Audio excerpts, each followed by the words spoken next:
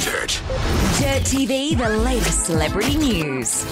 Renee here with your latest dose of LA Dirt. Riri is red hot on the cover of US Vogue magazine, revealing the rumours surrounding her and R. Pat's hooking up are completely false. Riri also confessed to rekindling her friendship with Chris Brown.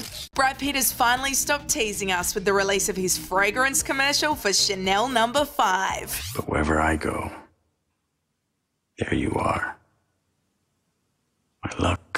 My fate, my fortune. Inevitable. Enrique Iglesias, is super sexy in his music video teaser, finally found you, featuring DJ Sammy Adams.